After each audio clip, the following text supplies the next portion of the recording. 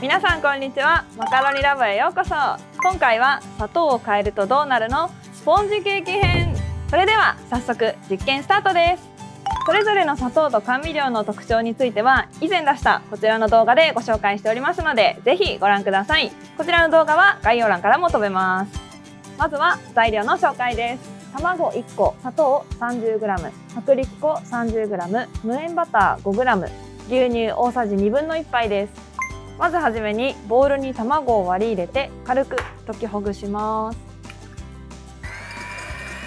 はい、軽く溶きほぐしたらお砂糖を加えて白っぽくもったりするまでしっかりと混ぜていきます。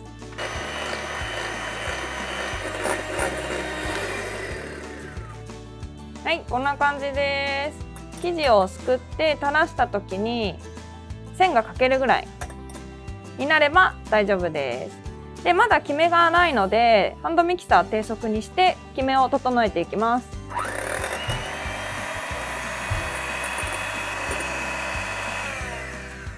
次に薄力粉を加えていきます。ダマにならないように必ずふるってから加えてください。で中心にふるっちゃう落としちゃうとちょっとそこだけ泡が潰れやすくなっちゃうので全体にこう振る感じでやってあげるといいかなと思います。ゴムベラに持ち替えて切り混ぜですよ。そこからすくうように泡を潰さないように混ぜてあげてください。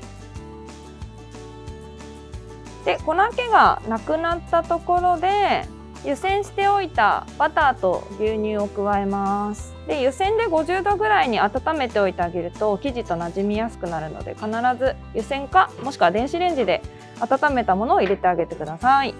でまた切り混ぜです。生地をすくって持ち上げた時に途切れずにリボンのようにタラタラと垂れる感じ。いいですね。この状態になれば OK です。では型に流し入れていきます。今日はマフィン型に流して焼いていきます。たらっと。型の8分目まで入れてあげてください。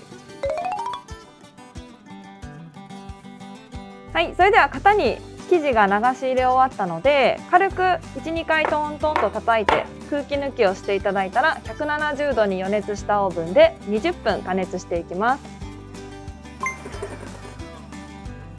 上白糖でも泡立てていましたが先ほどのグラニュー糖とあまり差はない感じです。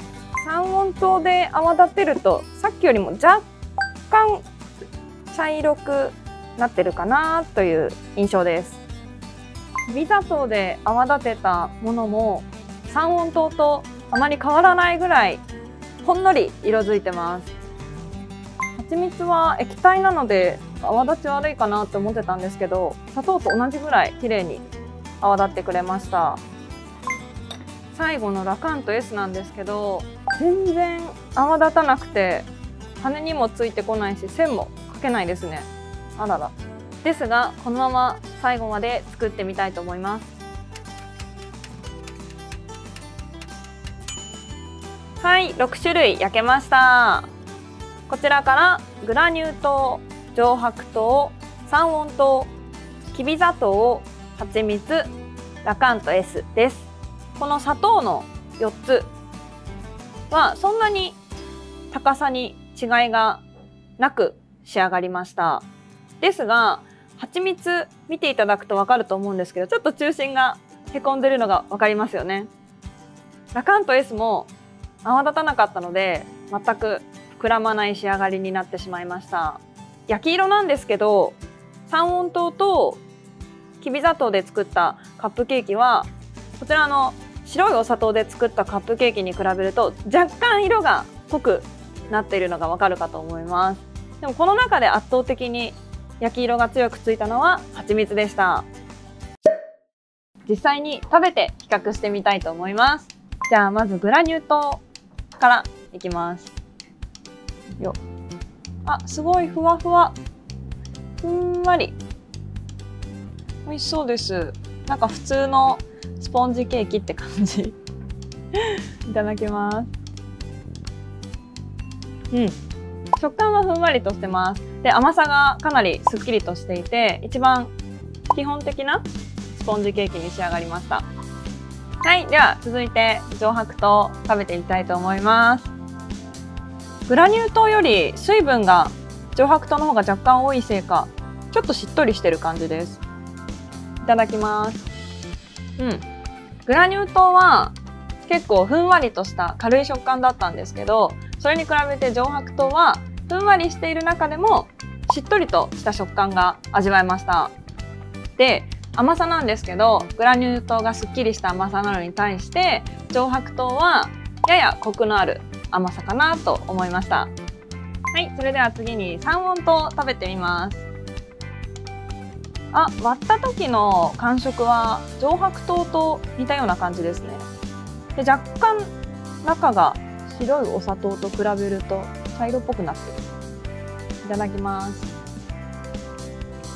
うん。食感は上白糖とかなり近い食感でした。で甘さもさらにコクが増して奥深い甘さになったかなと思いました。それでは続いてきび砂糖で作ったスポンジケーキを食べます。これも結構色が三温糖と同じぐらいついてますね茶色っぽく。あ匂いはそんなきび砂糖っぽさはないです正直。いただきます。うん。食感はグラニュー糖で作ったスポンジケーキに一番近いです。で甘さなんですけど食べ進めていくうちにどんどんこうきび砂糖の香りとか風味コクが感じられるかなって思いました。はい続いて蜂蜜で作ったスポンジケーキを食べます。わすごい。なんかシフォンケーキみたい。なんかシュワって感じです。でもやっぱ中心がこれは焼けてるのかな？ちょっとしっとりめですけど食べてみます。いただきます。うん。割った感じはシフォンケーキみたいにちょっとふわふわしわしわっていった感じだったんですけど実際口の中に入れてみるとちょっと水分が多いせいかねっとりとした感じちょっと歯にこう咀嚼してるとくっつくかなってそこが気になりました。で甘さはお砂糖で作ったものに比べると若干強いかなっていう感じです。蜂蜜の香りも感じられます。では最後にラカント S で作ったカップケーキを食べてみたいと思います。えー、これはスポンジケーキなんですかね大丈夫かな？これも火通ってるかな？ちょっと若干心配ではありますが。食べます。うん。なんか表面はちょっとサクサク？中はでもすごいしっとりしてるんですよ。でスポンジらしいこうふわふわ感っていうのは全くなくて、まあ、泡立ってないからそうなんですけど甘みがとにかく一番強いかもしれないです。凝縮されてるから？こうなってるから？落眼を食べているような感じです。なんかお砂糖を固めたお菓子をそのまま食べてるような感覚ぐらい甘さを感じました。このままだとスポンジケーキと言えないような仕上がりになってしまったので以前出した動画で70%までならお砂糖を減らしても美味しいカップケーキが作れるという実験結果が出ましたのでそちらを参考にして元のレシピから7割までお砂糖を減らして残りの3割をラカント S に置き換えて作り直してみたいと思います。70%だとだいたいお砂糖が 20g 前後になります。なのでここにラカント S を 10g 足して合計で 30g にして作っていきたいと思います。はいこんな感じですね。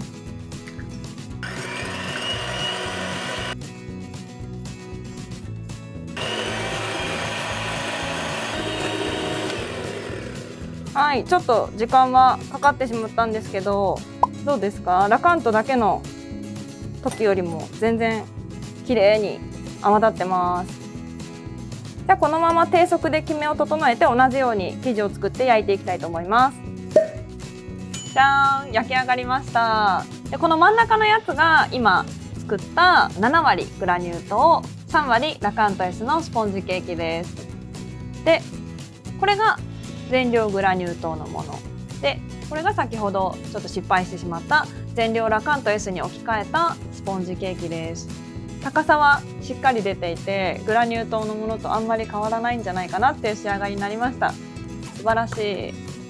あすごい。割った感じもちゃんとふわふわしてますよ。うん。ちゃんと美味しいスポンジケーキに仕上がってます。素晴らしい。でも甘みは、まあ、若干甘みが強く感じられるかなっていう感じはしました。ラカント S を使ってカロリーを少しでも抑えたいよっていう方はお砂糖レシピの7割程度に抑えて少しだけラカント S をプラスしてあげる。で甘さを調整すると同じ甘さでカロリーは抑えて作ることができるんじゃないかなと思います。はい今回もいろいろなお砂糖と甘味料でスポンジケーキを作ってみましたが皆さんもぜひこの動画を参考に自分好みのスポンジケーキを作ってみてください。この他にもやってみてほしい実験やお菓子作りに関する質問がありましたらぜひコメントお待ちしております。本日もご視聴いただきありがとうございました。それではまた次回お会いしましょう。バイバーイ。